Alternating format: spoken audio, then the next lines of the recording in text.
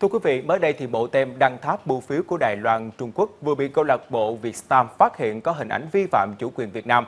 Cụ thể thì trên bộ tem được Bưu chính Đài Loan phát hành vào ngày 23 tháng 11 năm 2020, xuất hiện một ngọn đèn biển Đài Loan đã xây dựng trái phép vào năm 2015 trên đảo Ba Bình thuộc quần đảo Trường Sa của Việt Nam. Năm 1956 thì Đài Loan chiếm đóng trái phép nơi này và gọi là đảo Thái Bình. Ông Hoàng Anh Thi, chủ nhiệm câu lạc bộ Vietstam chia sẻ, đây là một trong những thủ thuật thường thấy ở Đài Loan để hợp thức hóa và tạo nên bề dày lịch sử cho sự chiếm đóng trái phép của họ trên đảo Ba Bình. Nếu chúng ta không kiên quyết phản đối, họ sẽ càng lớn tới. Đây không phải là lần đầu bưu chính Đài Loan phát hành tem bưu chính vi phạm chủ quyền của Việt Nam. Trước đó, họ từng phát hành các bộ tem bưu chính phi pháp vào năm 1996 và 2016. Thưa quý vị và các bạn, mạng xã hội ngày hôm nay lại tiếp tục dậy sóng với câu chuyện của làng đột biến. Đó là thông tin về chủ vườn lan đột biến ở huyện Ứng Hòa, Hà Nội ôm theo hàng trăm tỷ đồng tiền đặt hàng từ khách rồi bỏ trốn. Và ngay trong chiều nay thì phóng viên của VTC1 đã về địa chỉ của vườn lan liên quan để xác minh. Công an huyện Ứng Hòa đang tiến hành các bước xác minh thông tin này. Vườn lan Hà Thanh tại thôn Đi Xuyên, xã Hòa Nam, huyện Ứng Hòa. Trong buổi chiều nay, khi phóng viên tới tìm hiểu, chủ của vườn lan này là ông Nguyễn Hà Thanh vắng mặt. Người thân của ông Thanh chỉ cho công an xã và chủ tịch ủy ban nhân dân xã vào bên trong làm việc, nhưng cũng không biết chủ vườn lan ở đâu. Đại khái tôi cũng chỉ tôi đi làm thuê rồi làm mướn thì tôi có biết đâu mà thông tin gì thì cũng chẳng biết chị. Nhưng mà bác nghe đến ờ, người ta bảo là đến 700 triệu thì bác thấy, ơ 700 tỷ thì bác thấy Cái không biết, cái đó thì tôi không biết. Mà làm gì xin lỗi đây mà nói tỷ đâu mà lắm tỷ. Mình cỡ ơi, việc của chúng nó về cái nhờ xã hội, nhờ pháp luật, nhờ pháp luật chơi chui đã bác không biết. Thì trên địa bàn thì đối với gia đình anh Thanh hiện nay là đi vắng ờ, ba bốn ngày hôm nay không có mặt ở nhà. Thì địa phương thì cho đến thời điểm này thì chưa nhận được một cái đơn thư phản ánh nào của công dân, kể cả đơn tố cáo hoặc là trình báo thì chưa nhận được cái gì. Thì cái việc mà bố mẹ mà nắm bắt thì cũng chỉ, cũng không nắm chắc được cái việc mà mua bán hoặc là của ờ, con mình như thế nào. Hiện nay thì ờ, đối với vợ chồng đi vắng thì có con thì vẫn ở nhà. Thì và trong thời điểm này thì ngày hôm nay thì theo ông bà cho nó biết là phải cho cháu nghỉ học vì sợ là có những cái ờ, công dân có quá khích thì có thể là làm ảnh hưởng đến cháu thì cho cháu ở nhà. Theo quan sát, vườn lan có diện tích khoảng hơn 100 mét vuông, gồm 2 tầng, tuy nhiên chỉ có một số giỏ lan được treo ở tầng 2. Một số người dân ở đây cho biết, bình thường ở đây vẫn có hoạt động mua bán lan. Ngày hôm qua cũng có một vài người mua lan tới hỏi thăm về sự vắng mặt tạm thời của ông chủ vườn. Công an huyện cũng đã nắm bắt được thông tin, thì đồng thời cũng đã tiếp nhận được hai đơn phản ánh của hai công dân về cái tình hình cái vụ việc ở xảy ra ở địa, địa bàn xã Hòa Nam, huyện Ứng Hòa. Thì sau khi tiếp nhận thông tin thì công an huyện cũng đã khẩn trương tổ chức xác minh, đồng thời cũng triệu tập các đối tượng có liên quan để làm rõ cái vụ việc theo ờ, báo chí phản ánh. Trước đó, từ ngày hôm qua, giới chơi lan đột biến liên tục chia sẻ thông tin chủ vườn lan đột biến Hà Thanh đã ôm tiền của khách bỏ trốn, số tiền khoảng hơn 400 tỷ đồng và hôm nay lại có con số là 700 tỷ đồng. Một số loại lan được giao dịch trong câu chuyện này là Ngọc Sơn Cước, Bạch Tuyết, Bảo Duy, được cho là có giá từ vài trăm triệu đồng đến vài tỷ đồng một cm. Cùng chung nhiều vụ việc liên quan đến lan tiền tỷ đột biến đã khiến dư luận hoang mang. Thì mới đây một người đàn ông ở huyện Vĩnh Tường, tỉnh Vĩnh Phúc vừa trình báo lên công an huyện Hoài Đức, thành phố Hà Nội, công an huyện Yên Thủy, tỉnh Hòa Bình và công an huyện Long Thành, tỉnh Đồng Nai việc bị lừa gần 10 tỷ đồng khi mua lan đột biến của nhiều nhà vườn. Vâng, và theo đó thì trước tình trạng là hàng loạt các thương vụ mua bán lan đột biến với tổng giá trị lên đến cả trăm tỷ đồng vừa diễn ra, người này kiểm tra lại số lan mình vừa mua và phát hiện ra là nhiều gốc lan bị sai nguồn gốc. Anh đã liên hệ với các nhà vườn để kiểm tra thông tin, xong anh cho biết là đã không thể nào liên lạc được. Vâng ạ, và cũng xin được nhấn mạnh rằng trước đó nhiều vụ lừa đảo cũng đã bị phát giác và đã nhiều người bị mất đến tiền tỷ. Trong khi đó cho tới giờ thì vẫn không có căn cứ để định giá giá trị của lan đột biến. Những lời khẳng định về việc làm kinh tế từ chính lan đột biến được chia sẻ tràn lan. Và điều này đã khiến cho nhiều người chơi lan chấp nhận dấn thân vào cuộc chơi này. Bây giờ nó mới chỉ có giá trị về tinh thần giá trị về thẩm mỹ giá trị để làm đẹp thôi. Mà giá trị để làm đẹp rồi thì thì khi nó đã nhiều mà đã nhân giống rễ rồi thì chắc chắn là giá nó sẽ giảm. Một kỳ tức là một cm nuôi trồng bình thường là nó ra được đến 10 cm thậm chí ở một cái vùng khí hậu tốt hơn hoặc là ứng dụng các cái khoa học các cái kỹ thuật để mà kích thích cho cái sự phát triển thì có thể đến 50 kỳ 60 kỳ một năm như vậy thì nó còn đâu ra là hiếm còn đâu ra là quý nữa nhiều chuyên gia trong giới chơi lan cũng cho rằng giá trị của lan đột biến dường như đang đi xa dần giá trị nội tại của nó, bị biến tướng thành một thứ bong bóng ảo, vô hình. Cảm giác nó như ảo.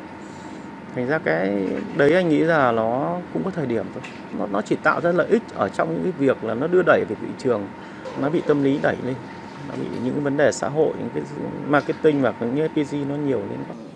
Giá sốt của cái hoa tulip ở bên châu Âu, Hà Lan ấy vào thế kỷ thứ 17 chắc chắn Việt Nam cũng sẽ chịu ảnh hưởng của những cái, cái, cái cơn lốc như vậy. Thưa quý vị, tiếp tục phiên tòa xét xử 19 bị cáo trong vụ án thất thoát 830 tỷ đồng tại dự án mở rộng sản xuất giai đoạn 2, công ty cổ phần gang thép Thái Nguyên Tisco. Chiều nay ngày 13 tháng 4, các luật sư đã đề nghị làm rõ số tiền 2.300 tỷ đồng còn lại ở đâu để có hướng khắc phục hậu quả vụ án. Theo cáo trạng, năm 2007, Tisco ký với tập đoàn khoa học công nghệ luyện kim Trung Quốc hợp đồng EPC trị giá 160 triệu đô la Mỹ để xây dựng nhà máy thép thuộc dự án mở rộng sản xuất. Tuy nhiên, do nhiều sai phạm, dự án đến nay chưa hoàn thành và Tisco đã rót vào đây hơn 4.400 tỷ đồng.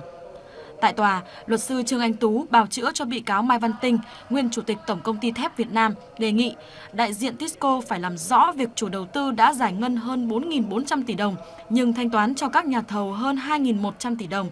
Vậy số còn lại đang ở đâu? Tuy nhiên, vị này từ chối trả lời vì cho rằng việc này thuộc các phòng ban chuyên môn. Luật sư đề nghị nếu số tiền hơn 2.300 tỷ đồng đang nằm trong tài khoản ngân hàng sẽ có lãi và có thể sử dụng để khắc phục hậu quả vụ án phía Tisco tiếp tục khẳng định doanh nghiệp này chưa từng có đơn yêu cầu bồi thường hoặc đơn khởi kiện trong vụ án này. Trong phiên tòa này, gang thép Thái Nguyên cũng sẽ không có đơn yêu cầu bồi thường, mọi việc hoàn toàn phụ thuộc vào các cơ quan tố tụng. Cơ quan an ninh điều tra Công an tỉnh Quảng Bình vừa điều tra làm rõ đối tượng tổ chức cho 9 công dân quốc tịch Trung Quốc nhập cảnh trái phép vào Việt Nam. Bước đầu xác định những người này đã thông qua một số đối tượng để nhập cảnh trái phép bằng đường bộ vào biên giới phía Bắc, sau đó di chuyển về Hà Nội rồi được Nguyễn Thành Lâm, sinh năm 1995, trú tại xã Ngũ Hiệp, huyện Thanh Trì, thành phố Hà Nội, tổ chức di chuyển từ Hà Nội vào Quảng Trị để đưa sang Lào. Đối tượng Nguyễn Thành Lâm khai nhận đã biết rõ số người Trung Quốc này nhập cảnh trái phép vào Việt Nam. Quá trình đi từ Hà Nội vào Quảng Bình, thì Lâm cũng đã nhận được số tiền 25 triệu đồng do một đối tượng khác thuê. Ngay sau khi làm rõ hành vi phạm tội, ngày hôm nay, Cơ quan An ninh điều tra Công an tỉnh Quảng Bình đã ra quyết định khởi tố vụ án, khởi tố bị can và lệnh tạm giam đối với Nguyễn Thành Lâm về tội tổ chức cho người khác nhập cảnh Việt Nam trái phép. Căn cứ trên kết quả điều tra bước đầu thì đã đủ căn cứ để quyết định khởi tố vụ án hình sự cũng như khởi tố bị can đối với đối tượng Nguyễn Thành Lâm. Riêng đối với số 9 công dân Trung Quốc nhập cảnh trái phép thì cơ quan an ninh điều tra đang tích cực phối hợp với phòng quản lý xuất nhập cảnh của công an tỉnh để tiến hành cái thủ tục xử lý vi phạm hành chính trục xuất số công dân Trung Quốc ở Việt Nam theo quy định của pháp luật. Hiện tại, qua hai lần xét nghiệm, toàn bộ số người mang quốc tịch Trung Quốc và đối tượng Nguyễn Thành Lâm đều âm tính với SARS-CoV-2. Công an tỉnh Quảng Bình cũng đang tiến hành lập hồ sơ để xử phạt vi phạm hành chính và tiến hành các thủ tục trục xuất số công dân Trung Quốc nhập cảnh trái phép theo đúng quy định. Thưa quý vị và các bạn, đoàn công tác của Ủy ban bầu cử tỉnh Khánh Hòa vừa có chuyến thăm, làm việc, kiểm tra công tác chiến đấu, lao động và đặc biệt là việc chuẩn bị cho cuộc bầu cử đại biểu Quốc hội khóa 15 và Hội đồng và đại biểu Hội đồng Nhân dân các cấp nhiệm kỳ 2021-2026 của quân và dân thị trấn Trường Sa, huyện Trường Sa.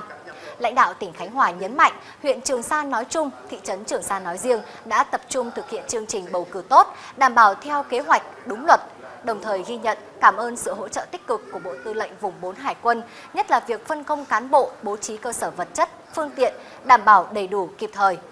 Dịp này, Ủy ban nhân dân tỉnh Khánh Hòa cũng đã dâng hương tưởng niệm tại nhà tưởng niệm Chủ tịch Hồ Chí Minh và đài tưởng niệm các anh hùng liệt sĩ trên đảo Trường Sa. Đồng thời, trao tặng cho cán bộ chiến sĩ và nhân dân thị trấn Trường Sa tiền và nhiều vật dụng thiết yếu.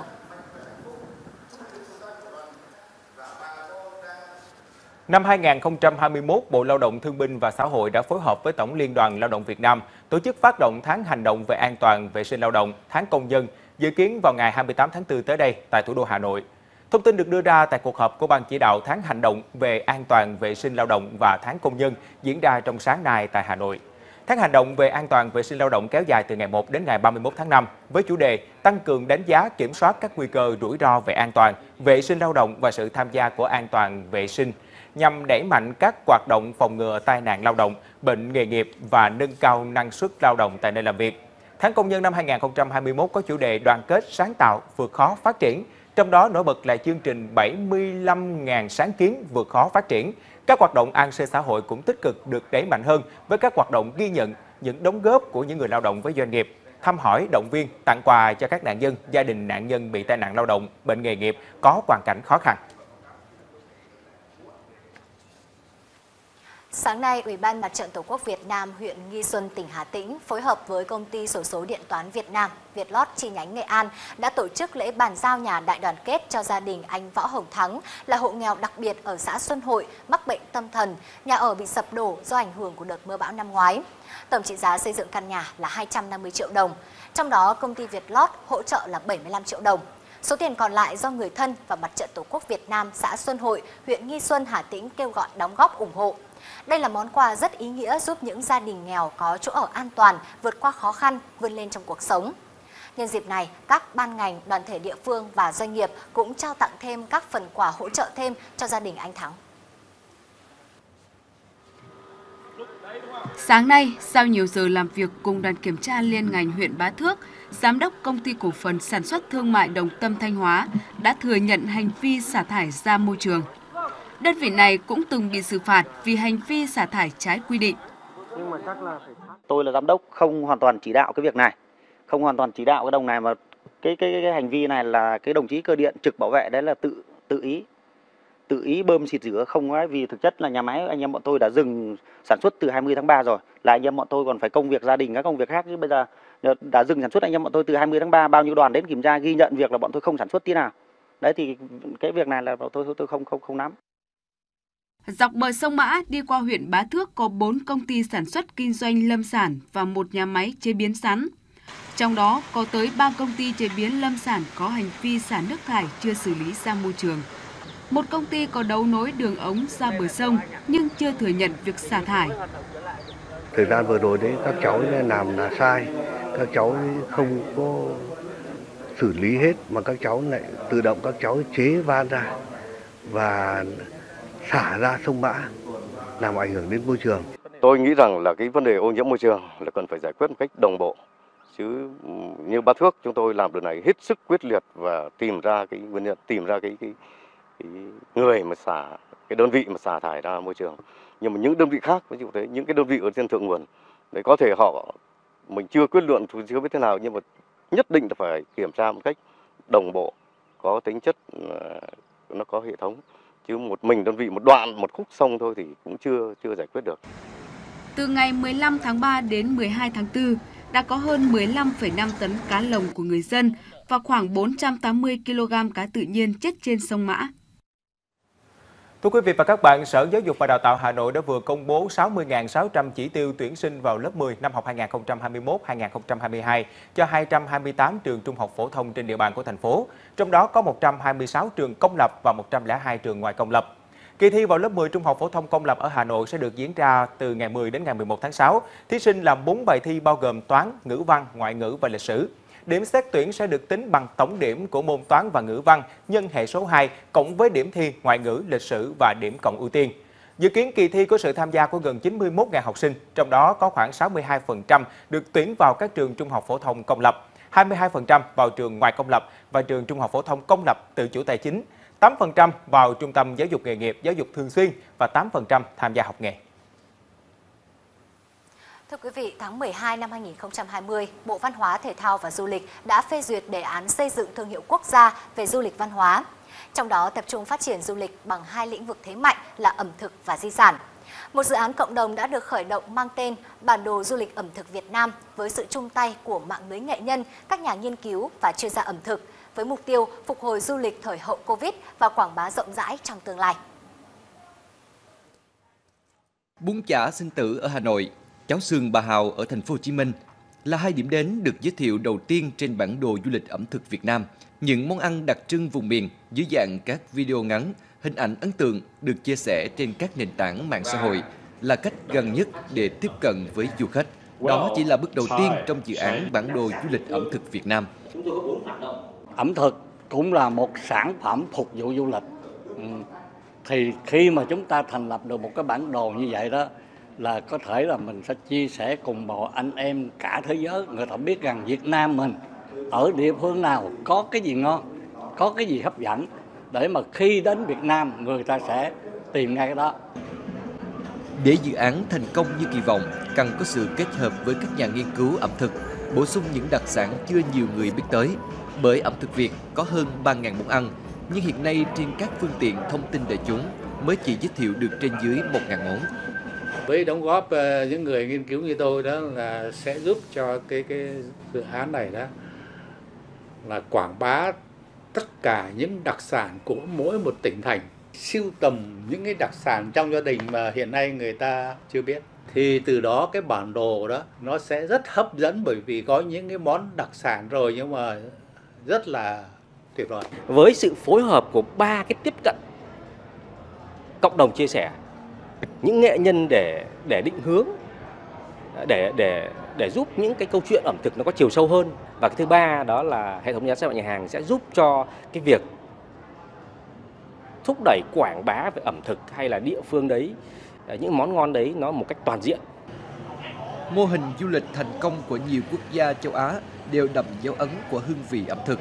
Thái Lan với chiến dịch bếp ăn của thế giới hay Singapore được UNESCO vinh danh về ẩm thực đường phố.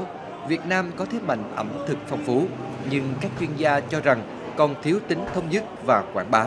Bản đồ ẩm thực có thể góp phần khắc phục điều này.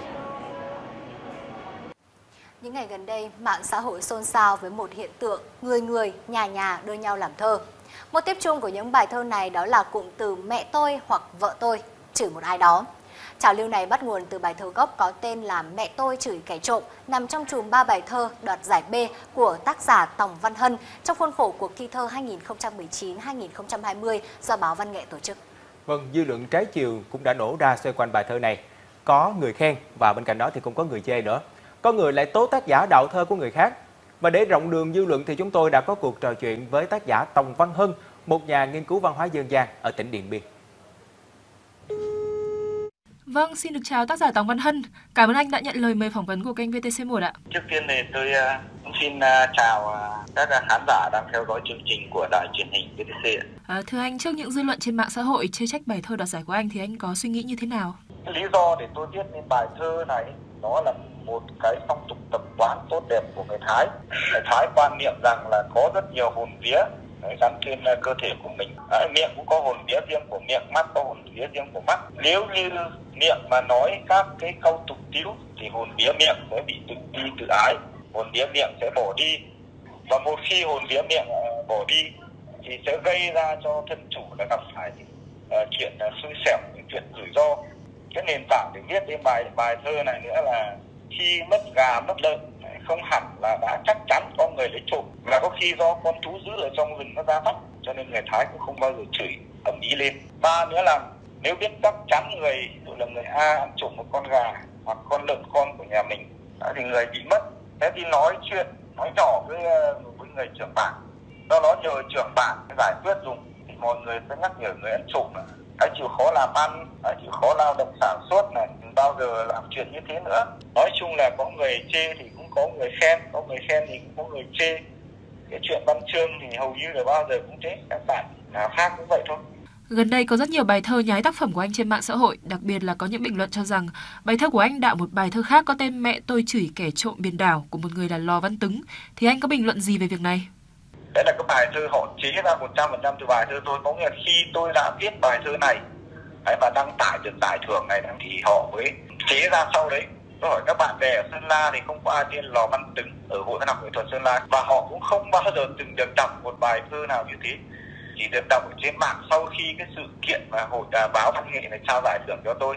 Tôi, tôi cũng uh, đưa thông tin cho một số báo chí. Nếu mà chủ uh, đăng nick ấy mà không gỡ xuống tôi sẽ nhờ cơ quan chức năng uh, để làm rõ vấn đề này. Nhưng mà theo như nhận định của nhiều người đến uh, bây giờ thì họ đã gỡ xuống hết rồi.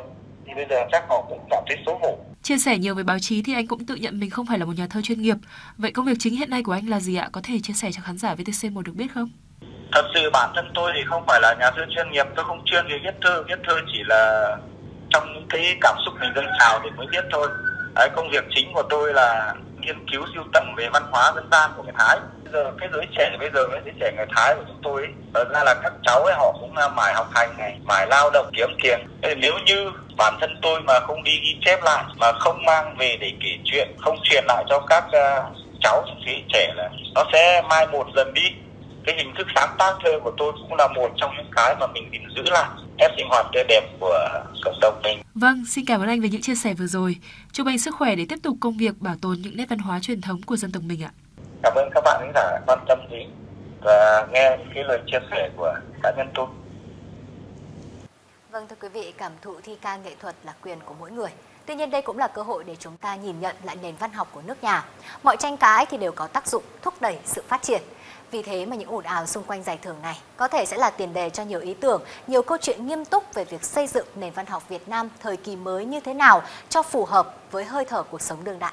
Vâng và bây giờ thì chúng tôi xin được tiếp tục với một thông tin về một giải thưởng khác cũng đang thu hút sự quan tâm của dư luận xã hội trong những ngày qua. Sau một năm gián đoạn bởi dịch bệnh Covid-19 thì năm nay, cuộc thi người dẫn chương trình phát thanh truyền hình lần 2 do trường Cao đẳng Phát thanh Truyền hình 2, đơn vị trực thuộc Đài Tiếng nói Việt Nam tổ chức đã thu hút gần 500 hồ sơ dự thi của các bạn sinh viên đến từ các cơ sở giáo dục trên cả nước. Với chủ đề nhịp đập, ban tổ chức mong muốn các thí sinh sẽ dũng cảm trình bày những quan điểm cá nhân về cuộc sống, về con người và xã hội. Với hình thức truyền hình thực tế, 22 thí sinh có phong cách tốt nhất đã được chọn vào vòng bán kết. Tại đây, thí sinh sẽ được học tập kỹ năng trình diễn, tiếng nói sân khấu, xử lý tình huống, biên tập chương trình phát thanh truyền hình với các người dẫn chương trình, biên tập viên, nhà báo, giảng viên giàu kinh nghiệm. Dự kiến đêm chung kết sẽ được diễn ra vào ngày